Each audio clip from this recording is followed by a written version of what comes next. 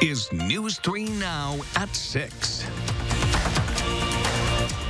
Thank you for joining us. We start with breaking news. Dispatchers say a semi and at least two vehicles were involved in a crash on northbound I-90. There are injuries reported, but we don't know how severe at this point. This is at Lien Road near East Towne Mall, and there are traffic backups. Meteorologist Dana Fulton has a first warn traffic update for us. Dana? Yeah, right now I do want to take a look at the, the bigger picture. This accident, again, close to East Towne Mall on 90 right now, the northbound side of 90. The actual accident itself close to to Lien Road and High Crossing Boulevard, but the delays and backup stretch well past 94, going almost five miles back for us right now. So quite a significant delay along the northbound side. The outer lanes are closed. Uh, the map is red. When it's purple, that means everything's at a standstill. So right now, it does look like traffic is slowly creeping through, but the delays are significant right now, five miles backed up from the source of that accident. The on-ramps to get onto 39 90 off of 94, as you can see, also starting to cause a little bit of a delay. Folks not able to to merge properly to get onto that uh, to get onto the highway. So I would certainly recommend uh, if you can go about around going through downtown Madison, certainly a good idea to try the Isthmus or going a little further out on the back roads, a little further east down 90 before or 94 before turning uh, to to head north or south. As far as our Doppler track is concerned, right now, a quick look at, at our weather conditions. We have a cloudy sky and a few isolated showers to the west in parts of Crawford, Grant, and Richland counties. But in Madison, things are dry currently with temperatures in the upper 70s. We did hit 80 degrees officially today, and tomorrow we're expecting another warm and mild day with possibility for a few more isolated showers and thunderstorms. We'll take a closer look at your full 10 day in just a few minutes.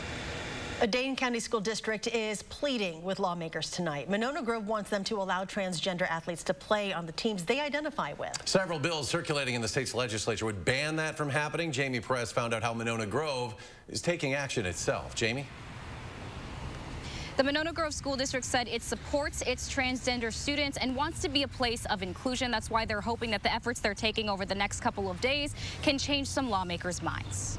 Women's achievements have one, once again been put at great risk of loss. Back in March, Republican Representative Barbara Dittrich introduced bills in Wisconsin that would ban transgender athletes in public middle schools, high schools, and colleges from playing on teams that don't match their biological sex. It's an issue of standing for women's achievement, not cutting anyone out of, of participation. It's um, excluding uh, people just based off of their gender identity and expression. For many transgender youth, like Monona Grove High School junior Daniel Ratcliffe, the bills are rooted in transphobia. Sort of shows that like there isn't a support system for trans people, and it's sort of like excluding them and making them feel like um, they're different just because of who they are. Recently, the Monona Grove School District unanimously approved a resolution that supports transgender youth, allowing them to play on any team they want. They have the same civil rights as other kids. Susan Fox is on the board. She said this resolution only reaffirms what the district's longtime values are, but she hopes that lawmakers who back this bill will reconsider after hearing their stance and their stories. That not only is this our school's policy, it's also the policy of the WIAA the NCAA, even the Olympics have allowed transgender athletes to participate, having, in fact, you know, affirmed their right to participate for several years. The bills are still being reviewed at the state level. Fox said she hopes that sending a letter and the school's resolution to the Capitol will make the bill's supporters reconsider. Transgender students participate in sports for the same reason that all kids participate in sports, um, you know, for the love of the game, uh, for their friends, friendships, uh, to represent their school on a school team. Susan Fox said she plans to send those letters to lawmakers within the next couple of days. Those two bills are in committees right now and have yet to pass on floor debate. Jamie Perez live tonight. Jamie, thank you. Six Republicans who control the legislature's budget committee voted against buying body cameras for state capitol police officers. The panel voted 12 to 4 on party lines to reject Governor Evers' proposal, which called for spending up to $100,000 over two years on between 35 to 50 body cameras. Republicans on the committee also voted to reject more than $70 million in funding to combat homelessness. Governor Evers had proposed spending $73 million over two years on a variety of initiatives, including affordable housing housing. The Joint Finance Committee voted again on party lines to increase funding for housing assistance programs by just $1.2 million over two years.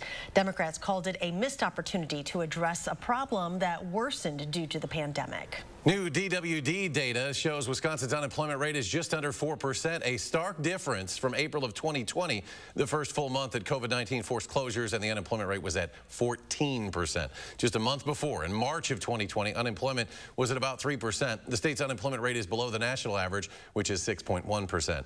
Nurses and Democratic lawmakers are advocating for employees at UW hospitals and clinics to have a union voice. State Senator Melissa Agard and Representative Lisa Subeck joined nurses to introduce the Union Voice for Quality Care at UW Health Act. The goal is to give nurses and employees a seat at the table to solve systemic problems that emerged even before the pandemic.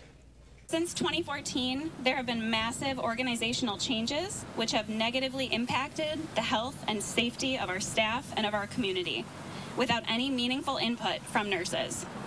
Perhaps the biggest change has been worsening staff to patient ratios. So it's much more difficult to provide patients with the personalized quality care that they deserve.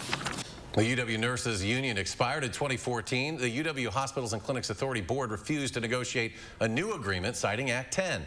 This legislation would grant UW Health employees the right to form a union and collectively bargain over the conditions of their employment. Across Wisconsin, health officials confirm 448 new COVID cases today. That is higher than the seven-day rolling average of 389. Two more people have died and 63 were hospitalized in the past 24 hours.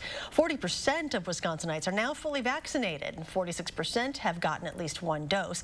And here in Dane County, almost 55% of people are now fully vaccinated. 64% have gotten at least one dose. New at 6, activists with Voces de la Frontera and LGBTQ plus organizations G-Safe and Orgullo Latinx of Dane County are reaching out to Senator Tammy Baldwin. At a press conference today, they encouraged Senator Baldwin to include undocumented immigrants in the next pandemic recovery bill and to champion citizenship for essential immigrant workers and their families.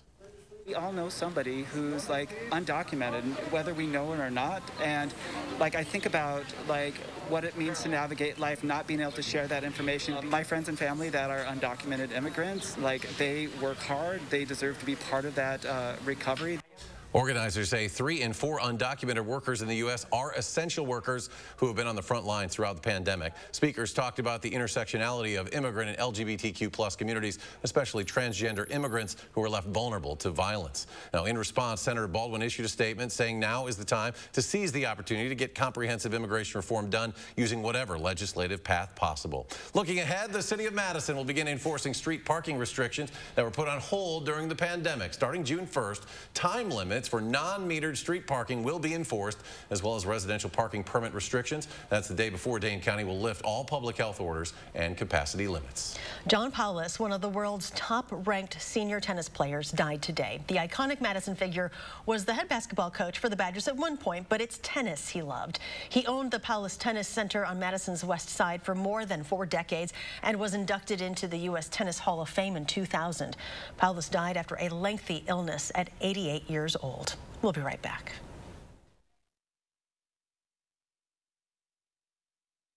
Get more enjoyment from your outdoor space with patio enclosures. Right now, get up to $6,500 off your sunroom. Plus, no interest if paid in full in 24 months. Call today.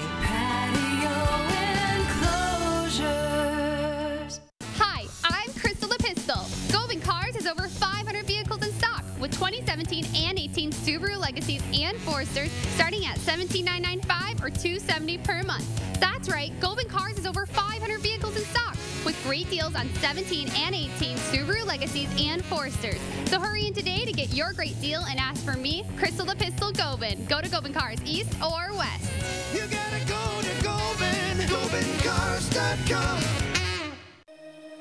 The light at the end of the tunnel isn't shining so brightly for everyone. Families continue to fight for survival. Some jobs are gone forever. Bills pile up. But please know, you have not been forgotten.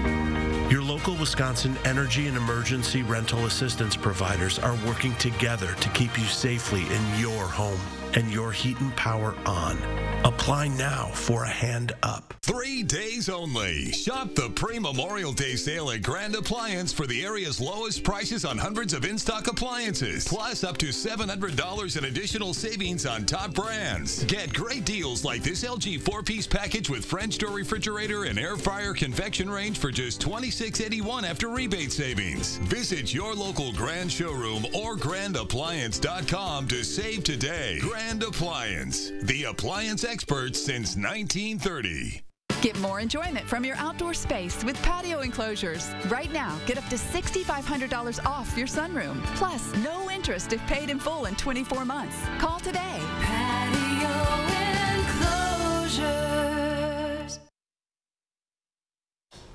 A live look now at the crash on northbound I-90 that we mentioned at the top of the show. This is at Lien Road, just south of East Towne Mall. And dispatchers say a semi and at least two vehicles were involved here. There are injuries reported. We do not know how severe at this point. Let's go to Dana once again for a first warn traffic update. You notice there the cars slowly creeping by because the latest update right now, all lanes are now blocked for this accident. So traffic is slowly creeping by just around it, likely on, on along the side of the road or pushed over into that emergency access road. So this is on 39 northbound. It is closed beyond that. And in front of this accident. Uh, delays stretching almost five miles and traffic is moving at a crawl, almost a standstill for most of these folks. So if you could take a different route, I would certainly recommend trying to go through downtown or, or possibly uh, getting off earlier and maybe traveling along 12 a little further instead of getting onto 39 and 90 because this northbound stretch uh, delayed for quite a long time for five miles and then closed right now with all lanes blocked at the accident. Uh, we're seeing delays also on 94 on the on-ramps to get onto 39 and 90 as traffic's getting backed up and delayed from that, that backup on 39. Now, our shower chances have really stayed off to the west. That's good news. Uh, we're keeping the rain a little further away right now for the evening commute. Overall, in the last 24 hours, the heavier showers have really been around the Twin Cities. We have seen some steady rainfall for the northwest quarter of the state, but not a lot of accumulation for us in southern Wisconsin. Some areas on the far western edge for us, uh, Crawford, Richland, and Grant County, picking up maybe a tenth or two tenths of an inch. But it's been a, a cloudy and, and drizzly day at times, but not picking up enough accumulation to really measure it for us in Madison. We'll the chance for showers again tomorrow, a slight chance on Saturday, and then a few more chances heading into next week. It's going to stay warm outside through the weekend, and the humidity also staying with us. Just a little muggy for us right now. That's kind of why we're holding on to this chance and the slight chance for showers. Just enough moisture that we could see a pop-up shower as we head into uh, Friday afternoon. Early in the day, we're in the mid-60s. In the afternoon tomorrow, high temperatures will climb close to 80 again with these chance showers popping up for us. Heading into Saturday, not as much moisture, but we're still holding on to that slight chance for possibly a few isolated showers as temperatures climb to the mid to upper 80s and heat index readings will be close to 90.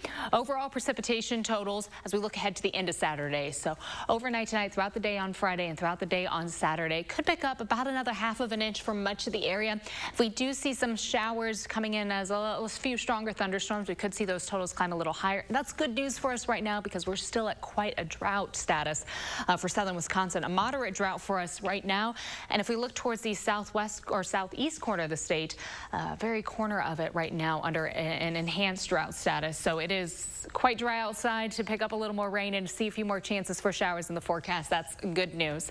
Variably cloudy skies for tomorrow. High temperatures will be close to 80 degrees yet again. We'll the chance for showers and isolated thunderstorms in the afternoon. Partly sunny skies with a slight chance on Saturday. And then the chance for showers and thunderstorms picking up yet again on Sunday and carrying us into the start of the work week. We'll stay in the 80s through the weekend and for Monday and Tuesday, and then temperatures drop back to the 70s for afternoon highs, likely seeing the mid to low 70s stretching uh, through much of the second half of the work week. Dana, thank you. Still ahead at 6, our State of Hate investigative series continues, comparing the mismatch between what's charged as a hate crime versus official state data. Stay with us. Tonight on CBS, it's a night of comedy and drama, beginning with Young Sheldon, followed by United States of Al, plus Mom, Be Positive, and the thriller Clarice. Then got a complete wrap-up of the day's news on News 3 Now at 10. The Memorial Day appliance deals start now at Furniture and Appliance Mart. Save huge during the biggest sale of the season, including in-stock doorbusters up to 40% off, plus no interest financing for 18 months at Furniture and Appliance Mart inside Ashley Home Store off the Beltline. Keep your living spaces comfortable with the Denali Air Mini Split System from Menards. These units are an energy efficient, affordable option to zone cool and heat any room in your home. It's easy to install and effectively removes humidity. It also includes a remote so you can easily control the temperature. And it's a great time to buy with 11% off all Denali Air Mini Split Systems right now at Menards. Millions of customers are leaving their providers and switching to Spectrum. And if you have satellite, it's not hard to see why. Because unlike satellite, Spectrum gives you all the services you need, like internet and TV from one provider. They do? Yeah, they do. And Spectrum has the fastest download speeds with the most reliable performance. Get Spectrum Internet with speeds at 200 megabits for $44.99 a month. Call 833-909-4499. Spectrum wins on TV, too. Unlike satellite, Spectrum doesn't have an ugly dish to install. And you get exclusive premium original content with Spectrum Originals. Wow, really? Really. Plus, Spectrum has more free HD and free on demand. Get Spectrum TV from $44.99 a month. Call 833-909-4499. And unlike satellite providers, Spectrum doesn't have contracts or early termination fees. We'll even buy out your current contract up to $500. Switch to America's fastest growing internet, TV, and voice provider. Get Spectrum Internet and TV from $44.99 a month each. Ask about our easy self-install options. Call 833-909-4499. Summer starts here at East Madison Toyota. We've just received nine truckloads of inventory. That's nine truckloads of cars, trucks, vans, and SUVs, while the other guys are running dry. East Madison Toyota is stocking up with nine truckloads of inventory, all priced to sell during the Summer Starts Here event at East Madison Toyota off I 90 and 151. Biggest sale of the season starts now. It's the Memorial Day sale at Ashley Home Store. Shop in-stock doorbusters up to 60% off while they last. Plus, take a bonus 10% off our furniture sale prices. And no interest financing for five years. Ashley Home Store. We are continuing our State of Hate investigative series by tracking what happens to a case after it reaches police. When a hate crime is investigated, it's reported to the State Department of Justice and then the FBI. But investigative reporter Naomi Kowles found our statewide hate crime data is plagued with missing cases, mistakes corrected too late, and standards that change from agency to agency. Um, my name is Tashiana. I am a mother of four. Tashiana Northington's sprained ankle has healed from this attack, charged as a hate crime in Madison last summer. Um, opened my door and jumped into my car and punched me, choked but me. But her and her children have healing left to do. My five-year-old was having nightmares of it. Madison police have finalized its hate crime numbers from last year. Tashiana's, despite the hate crime charge, isn't one of them. A hate crime prosecution even a conviction is no guarantee that case will appear in Wisconsin's hate crime statistics. We found case after case, nine just in Madison last year, including Tashiana's, where prosecutors are bringing a hate crime penalty, but police don't count it as one. Those are two very different things. So you could have a, a certain crime type that qualifies under the state statute that our district attorney chooses to prosecute with a enhancer that we investigated that way. But because it's a certain type of crime, IBR simply doesn't allow for it to be categorized as a hate crime. Madison led the state in hate investigations, but only officially reported five. More than a dozen others had clear racial indicators in their reports, but even when they went on to be charged as hate crimes, Assistant Chief Vic Wahl says they didn't meet the data tracking DOJ and FBI definition. There's always going to be sort of that mismatch for that certain type of crime where you don't have a, a, perfect overlap. That's the reason for many hate investigations that didn't get officially reported. The most important, maybe from a police leadership perspective, is how are we handling these cases? How are we investigating them? How are we treating the victims? And how are we holding the offenders accountable? Yet in Tashiana's case, officers reported no bias at all. It wasn't fair. It wasn't fair that they didn't write down a proper report. It wasn't fair that they didn't have a good understanding on what happened with the situation. Madison isn't alone. Kenosha reports just one anti-white hate crime for 2020. That's a man accusing black teens of breaking his window while using racial slurs. What they didn't report is a case where a white man is facing hate crime charges for trying to run a black woman over in a Menards parking lot. Sauk Prairie police don't report a hate crime for 2018, even though prosecutors initially used the hate penalty for a case where they say a disabled person was targeted and assaulted. And not one Racine County law enforcement agency reported a hate crime in the last five years. That's despite Racine County prosecutors using the penalty in six cases, including two guilty convictions, one of them a vicious beating of a black gay man. Cases hang on because of necessity for a long, long time. It was actually recorded as a hate crime in error. These are just a few of the conversations we had with agency after agency, following up on dozens of hate crime record requests. And we have those coded correctly, so I don't know why they, on their website, have it listed. There's not one uniform uh, way that software processes things. Whether or not a crime is charged, police are required in Wisconsin to report their hate investigations to the State Department of Justice. The DOJ then sends that data on to the FBI. But things don't always line up. Police had no matching reports for dozens of hate crimes the FBI reported in 2018 and 2019. Sometimes it was a simple clerical error, fixed and automatically updated in the state's database, but too late for the FBI's. But the standard for what counts and what doesn't also shifts from agency to agency. When someone scrawled a racial slur on a school wall in Mayville, the bias tag was removed despite racially charged vandalism representing scores of the state's hate crimes. To get here, we read hundreds of pages of reports, but what we know about hate is still limited. More than 300 Wisconsin agencies never reported a hate crime at all over five years, an unlikely figure given the issues we just discussed. They are intended uh, not only to cause harm to the person who's the victim, but to uh, cause concern for a whole community. Attorney General Josh Kaul says it's a training and funding issue and is one of 35 attorneys general nationwide pushing for a law to provide that. You know, this is one of the reasons that, that training is so critical. We, we don't have a great picture, uh, broadly speaking, as to you know, how well each individual officer or agency reports these crimes, but we do have a general sense that nationwide there's underreporting. Madison-based retired U.S. prosecutor John Vaudreuil says there's another, less tangible factor. It may not be explicit, but it's certainly implicit. Uh, perhaps political leadership. You don't want to be a city that reports a lot of hate crimes. And the battle to recognize, investigate, and report hate remains uphill. It hurts my feelings because it makes me feel like they didn't care really. They weren't there for me. There's so much more to this story, and we have it all right now online at Channel 3000 State of Hate.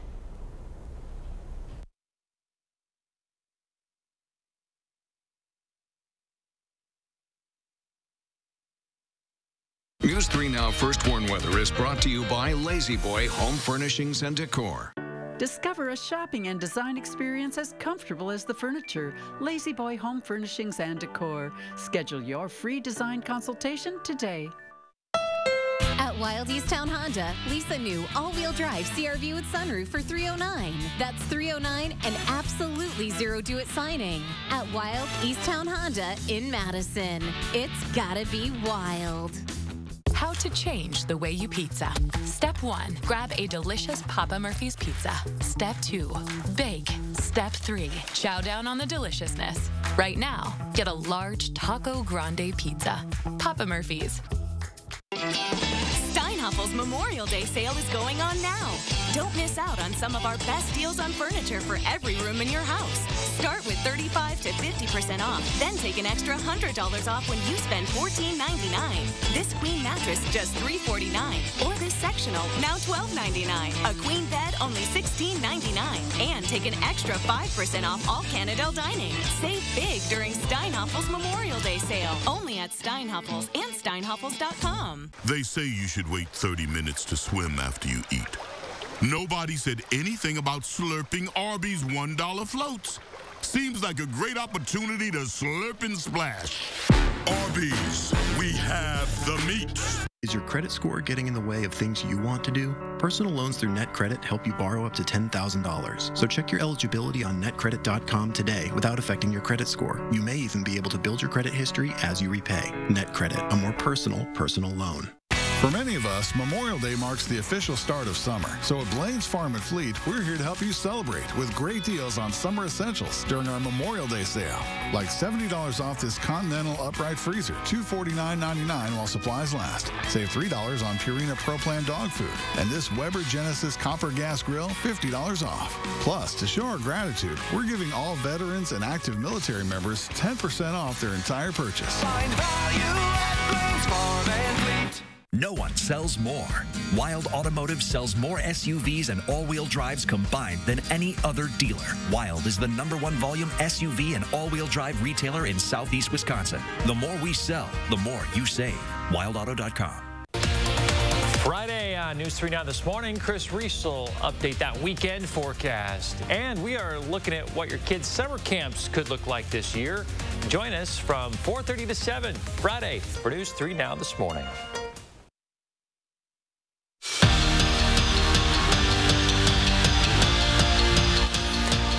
Kind of what Whitewater Baseball does. Tomorrow, their journey for a third straight conference tournament title begins after going 34 and 5 in the regular season. And the Warhawks, they're not feeling any pressure because that's just what Hawk ball is all about. There's a simple standard at Whitewater. You could go to a program that's not expected to win and hence has no pressure or you can play for a proven champion that has big expectations. Just win. You're kind of the headhunters. Everybody's coming at you. You're going to get everybody's best all the time. And with another regular season conference crown to their name. We don't take it too seriously, but we take it seriously. It's, it's, we have a loose energy, and I think that's what championship ball teams have. They're living up to those expectations.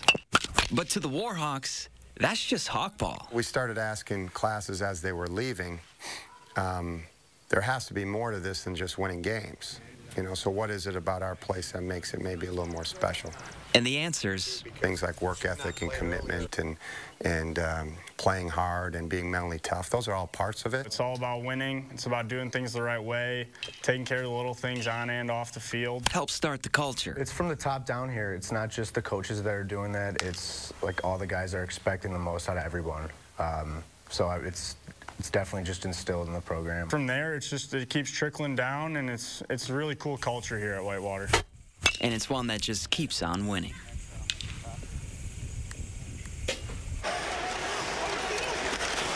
And in case you missed it last night, Craig Smith was the hero on the ice for the Bruins in double overtime. The former Badger slipped the puck past the keeper off the turnover to not only win the game for Boston, but give his club a 2-1 lead in the opening round of the Stanley Cup playoffs. It was, um, it was a great feeling. It's a great feeling. I mean, anytime you can end one like that, you know, I would say, you know, I love winning, but I hate waiting. Shout out Rut Daniels. But uh, it was uh, felt great. You know what else felt great, Dana? The weather. Thank you. You're welcome. It was nice and warm outside today. Still just a little humid with some shower chances, slight chance for Saturday, and then we continue to see this warm and humid weather for the start of next week. All right, Dana, thank you. Thanks for joining us for News 3 Now at 6. Enjoy your evening, and we'll see you back here at 10.